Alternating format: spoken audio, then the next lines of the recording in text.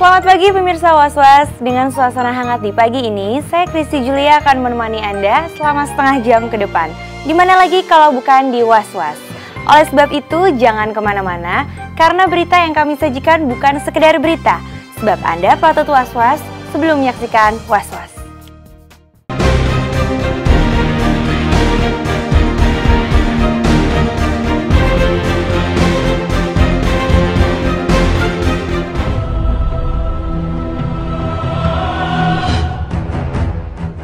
Sejak masa idahnya berakhir pada 5 September lalu, Pipik Dia Irawati disibukkan dengan berbagai aktivitas syiarnya.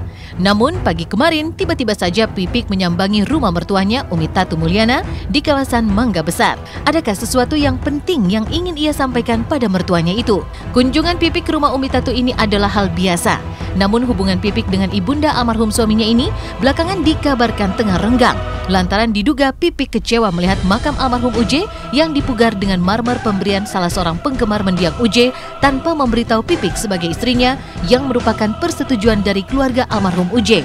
Maka inilah pertemuan keduanya setelah beberapa minggu belakangan ini dikabarkan hubungan antara mertua dan menantu ini kurang harmonis. Enggak lah, baik-baik aja. Kalau untuk urusan makam, saya nggak nggak mau nggak mau ribut-ribut. Udahlah itu ambil positifnya aja. Gitu. Biar itu menjadi yang terbaik. Nggak ada sih, nggak ada mohon apa-apa. Uh, jadi biasa-biasa aja gitu. Tadi mungkin ada kali setengah jam lah. Tadi setengah jam. Kami juga kebetulan banyak tamu, jadi kita ngobrol hanya sekedar aja. Sepertinya Pipik belum mau bicara panjang lebar seputar pemugaran makam almarhum suaminya. Kehadiran Pipik di rumah Umi Tatu tak lain karena mertuanya tersebut akan segera menunaikan ibadah haji, meski itu bukan pertama kalinya Umi Tatu menjalankan rukun Islam kelima itu.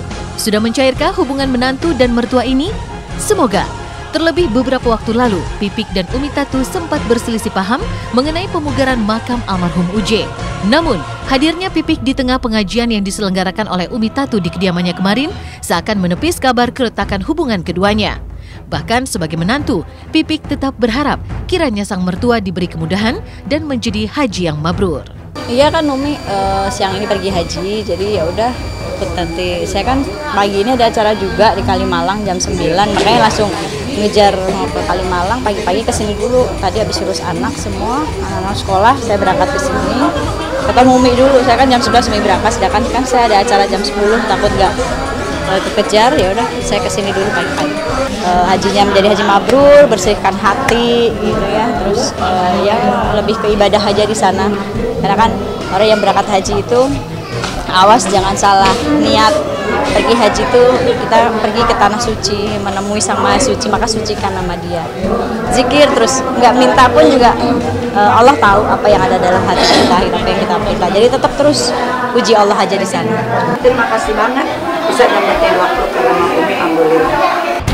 Kabar perselisihan Umi Tatu dengan Pipik kabarnya dipicu usai Pipik melakukan ziarah kubur ke makam almarhum Uje untuk kali keduanya pasca masa idahnya berakhir. Pipik terkejut melihat makam suaminya yang berhiaskan batu marmer. Kabarnya pembangunan ini terlaksana atas inisiatif Umi Tatu berkat jasa pengusaha marmer bernama Didik. Kini setelah marmer, kabarnya makam Uje juga akan diberikan hiasan kaligrafi berlapis emas. Lantas, apa tanggapan Pipik mengenai hal ini? Saya pengen minta berkahnya, punya niat baik. Oh, terima kasih banyak. Mama Pipik udah bilang, katanya sudah ketemu Mama Pipik udah bilang, katanya terima kasih begitu. Cuman ketika dibangunnya memang pikir Umi karena dulu udah ACC udah nggak bilang lagi. Pak Didit pun udah siap daripada kuburan berantakan. Memang uh, kalau dari awal uh, ada salah satu penyumbang yang bertemu dengan saya minta izin mau membaguskan makam saya memang mengizinkan. Tapi nanti setelah satu tahun lah supaya tanah itu biar kuat dulu gitu kan. Tapi ternyata waktu saya hari Jumat uh, ziarah makam sudah berubah gitu. Di situ ya mungkin kecewa iyalah pasti. Karena kan uh, pertama ziarah pun juga makamnya masih yang biasa. Yang kedua akhirnya makam sudah seperti itu dengan desain yang tinggi seperti itu ya saya nggak tahu gitu. Uh, keluarga itu semua atas keputusan keluarga. Hmm, tapi kalau saya kan nggak tahu, memang saya nggak tahu benar-benar nggak tahu yang kapan ke apa pas pembongkaran itu saya nggak pernah tahu. Terus desainnya seperti itu pun juga saya nggak saya nggak tahu. Gitu. Tahu-tahu sudah jadi seperti itu aja. Omi minta sama Pipit duduk manis aja. Tenang aja. Udah syukur ada ngurusin. Oh, kalau yang ngurusin sendiri. Nah, urus sampai sekarang itu dia sibuk ke mana-mana, mau nyuruh-nyuruh siapa. Masa dia kudu cari-cari batu nisan ke mana-mana.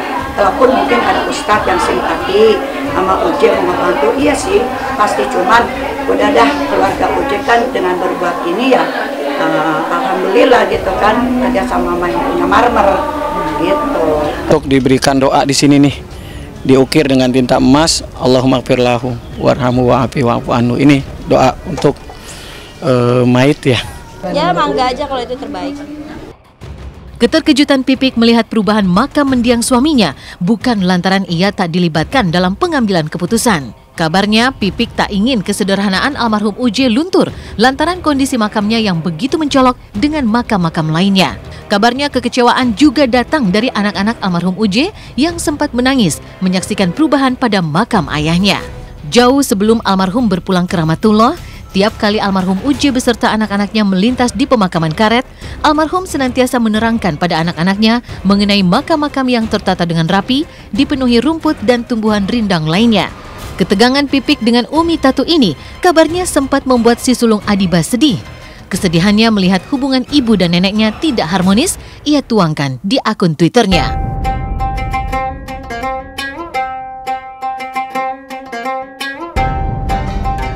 Ya sedih ada karena memang mungkin anak-anak juga tidak begitu suka dengan mak model makam seperti itu karena dia mungkin teringat kata-kata uh, abihnya gitu ya walau setiap kali lewat tanah kusir abihnya selalu bilang ke mereka uh, ucap fatihah baca fatihah buat mereka-mereka yang sudah meninggal. Lalu um, ngasih lihat juga bahwa tuh abi suka dengan makam yang seperti itu yang hanya rata dengan tanah ada rumputnya saja gitu. Jadi mungkin anak-anak teringat kata-kata abihnya seperti itu. Jadi makanya dia sedih aja.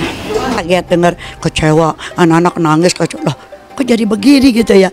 Kalau memang nggak seneng ngomong aja. Silakan bongkar mau dipermanen kek. Mau tanah doang kek. Terserah Umi mah ini karena menunjukkan rasa cinta Umi sama Uje Dari hari ke hari, makam almarhum Uji di Taman Pemakaman Umum Karet Bifak selalu dipadati masyarakat dari berbagai daerah yang ingin melakukan ziarah kubur.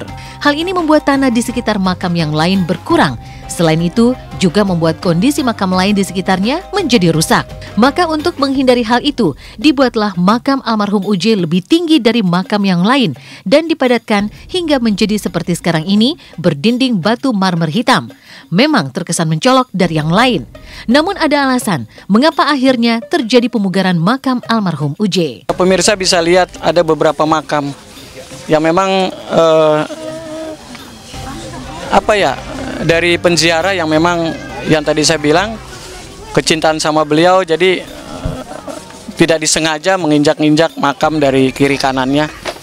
Yang kemudian ini makam dari masih saudara juga. Nah ini tetangga juga masih orang Banten. Makanya dengan rasa hormat beliau nih hamba Allah. Jadi sama nanti akan dirapikan semua ini. Gitu. Di sini alhamdulillah sungguh luar biasa ya dalam arti dengan makam ditinggikan gini jadi lebih kelihatan bersih dan juga nggak becek lagi ya.